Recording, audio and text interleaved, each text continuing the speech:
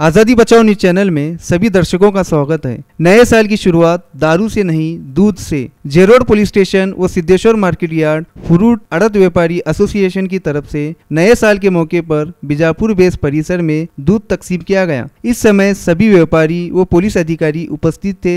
देखिए आज़ादी बचाओ न्यूज़ चैनल की एक रिपोर्ट। शहर शोलापुर शोलापुर कृषि उत्पन्न बाज़ार समिति की तरफ़ से और शहर जेल रोड पुलिस चौकी।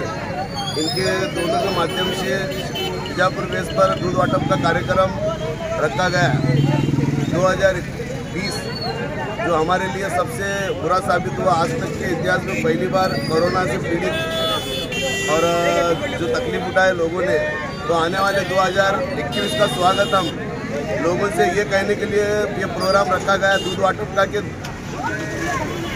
नए साल का स्वागत दारू से नहीं, दूध से करना है। और सभी लोगों से हम ये कहते हैं कि आने वाले साल हमारे लिए अच्छा जाए 2021 और आने वाले दिनों में हमारे सभी लोगों की तबीयत का भी ख्याल रखे और दारू ना पीते हुए 2021 का स्वागत हम दूध पीते हुए करें।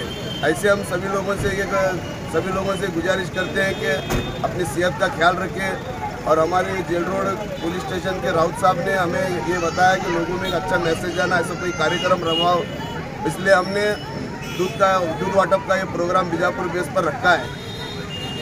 आज़ादी बचाओ न्यूज़ चैनल को सब्सक्राइब करने के लिए बेल आइकन पर क्लिक करना ना भूले। साथ ही साथ लाइक करें और शेयर भी करें।